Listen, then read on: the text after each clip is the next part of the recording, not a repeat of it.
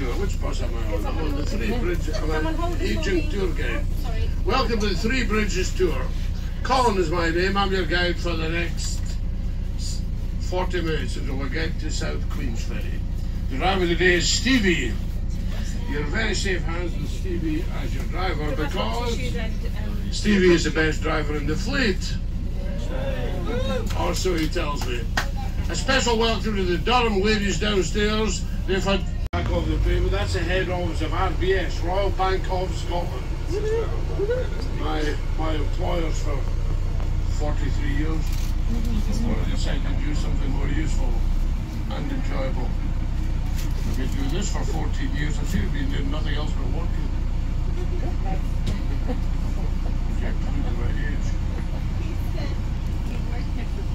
Of striking beauty and intelligence.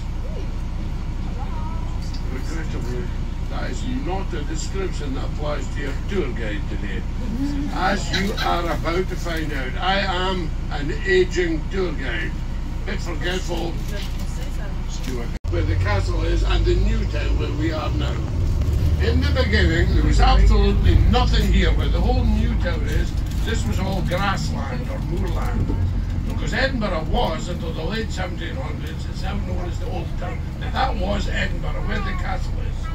However, by the late 1700s, the Old Town became very crowded, overcrowded, cramped, claustrophobic. It became a slum. In fact, Edinburgh was the worst, one of the worst slums in Europe in the late 1700s. Something had to be done, so the new town was built.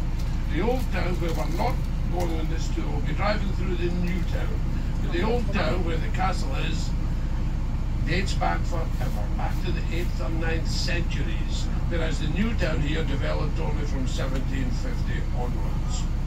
The old town is called the medieval old town for obvious reasons whereas the new town here is called the Georgian New Town. For not so obvious reasons, the new town here is called the Georgian New Town because it was built by and large during the reign of King George III, who reigned from 1760 to 1820. By the way, I hope you're remembering all this stuff for the question and answer session. Quite a lot to remember. Some people suggest I make up as I go along.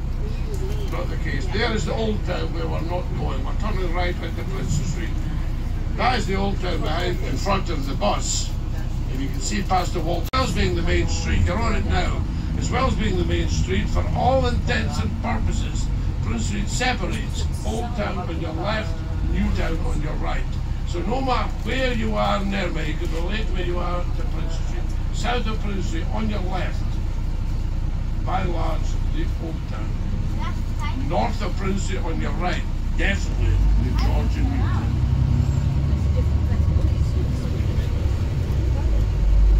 And Edinburgh Castle coming into view on your left-hand side very soon.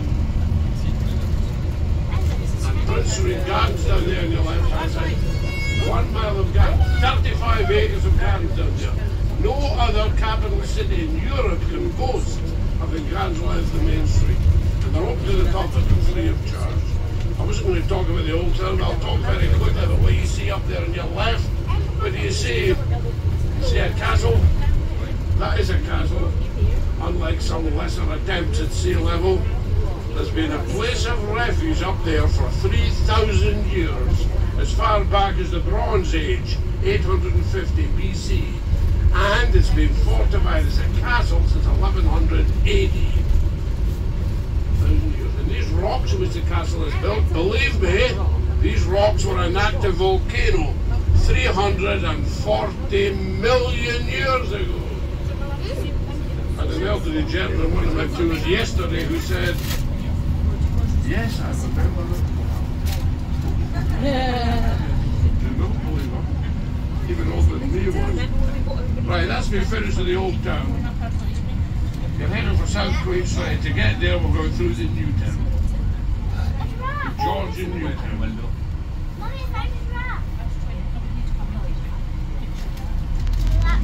You're going to see some beautiful architecture along here. Even more beautiful than you're seeing at the moment. There's a lot of Georgian architecture here because, uh, say, the new, the central part of the Newt, as I said, was built early 1800s during the reign of George III. If you look into the next street on your left, you'll see some of the most beautiful, intact Georgian architecture. Go that way. The next street to the left now, Alva Street, intact Georgian architecture, as it was 200 years ago. Beautiful, beautiful, beautiful stuff. And that's same the next street. Once the lights change, look at your left, you'll see Melville Street. Beautiful, beautiful, beautiful, intact Georgian architecture. Early 1800s, beautiful. By the way, forget what you're seeing on the ground floor here. It's all modern, commercial and retail.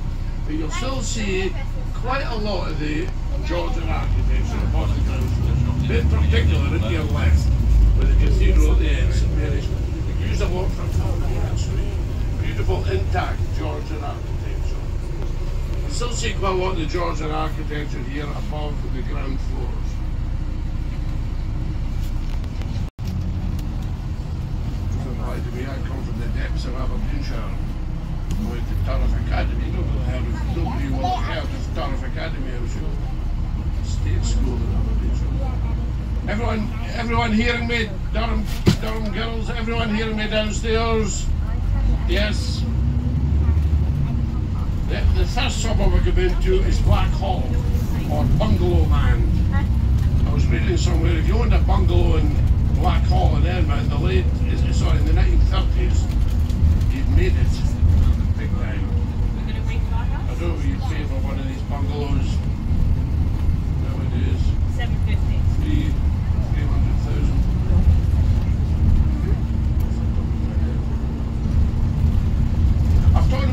town and the new town, but listen, the whole city of Edinburgh is important. Most people, in my opinion, present company excluded, do not fully realise just how important Edinburgh is historically because in 1995, Edinburgh, Old Town and New Town where you are now, Old Town and New Town were awarded the very prestigious UNESCO World Heritage Site status. What does that mean? Means that Edinburgh had to prove its historical worth in worldwide terms. It puts Edinburgh on par with places like Rome, Venice, Florence in Italy, Athens in Greece, Krakow in Poland, Quebec in Canada. They all enjoy the same historical accreditation that Edinburgh does. So Edinburgh is very, very, very, very important from a historical perspective. In fact, in the whole planet Earth, there's only around 1,000 World Heritage Sites, and they're all unique. So here you are in the cosmopolitan capital city of Scotland, Edinburgh, with its unique World Heritage Site. Where's that? And incidentally, it was the juxtaposition was that for Edinburgh International Arts Festival, which takes place here each year in August the largest arts festival of its kind anywhere in the world, dates back over 70 years to 1947. To put the Edinburgh International Arts Festival into perspective, the last time was held pre-pandemic, August 2019, ticket sales for the first time exceeded 3 million. So we're absolutely delighted. That is an understatement, underlined numerous times. We're absolutely delighted that everything's up and running for the Arts Festival taking place August next year.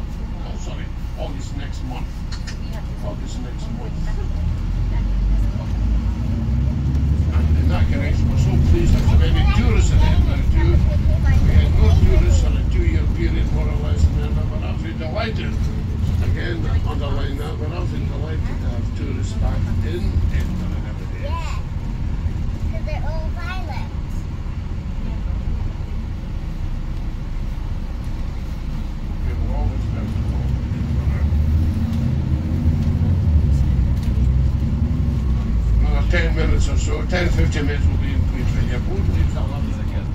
If you're interested, down to the right, where we show, down the street to the right, and Raoul lives down there.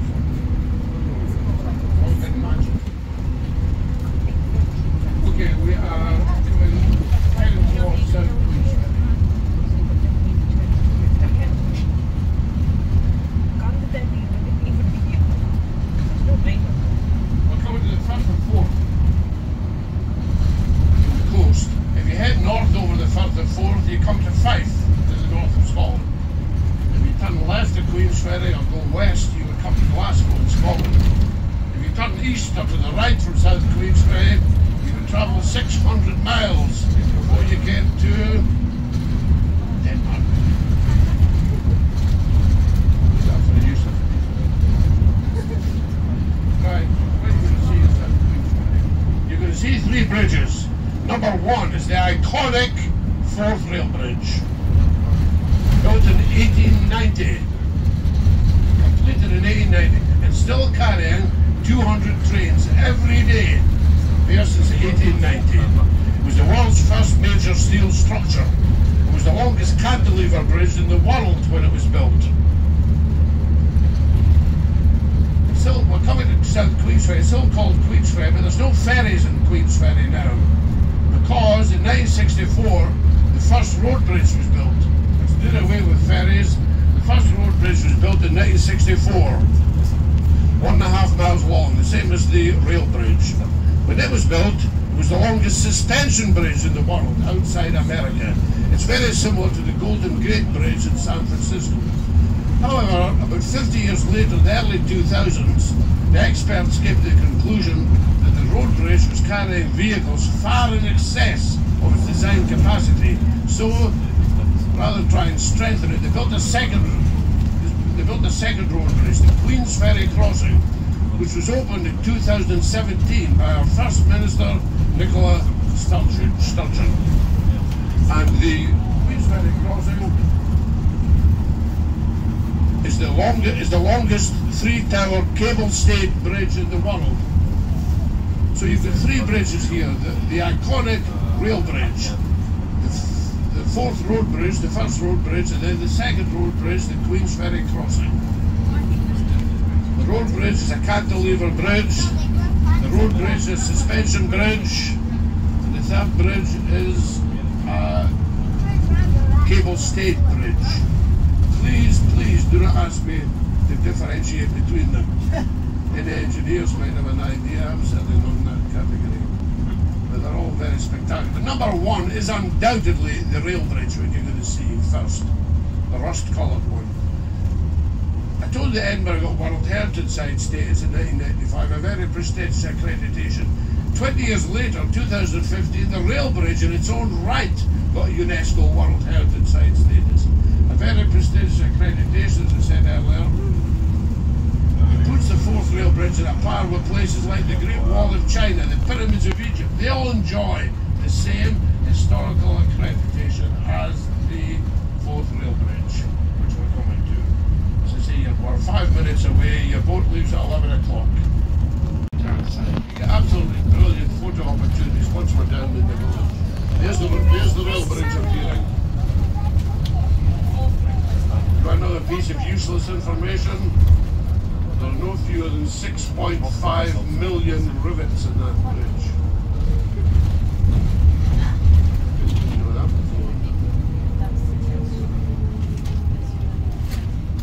1890, a feat of engineering, that is an understatement.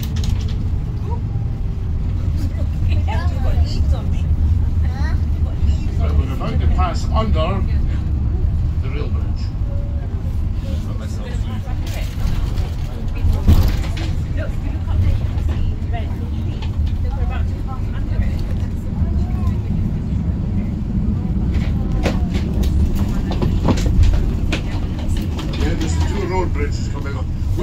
Along here, we're going to go along here and turn and come back. So just remain seated. That's your boat coming in, by the way. You see the boat there on the right hand side? That boat's going to come in. That blue one. See the blue? Oh. If you look to your right, you see the pier here. We come back here. We're going to park right here on the way back. Look down to the right. That's where your boat comes in. We're going along here and come back. Okay, my hand driver, Steve, myself, Colin, many, many thanks indeed for joining us the For your and safety, please now listen carefully to the following safety announcement.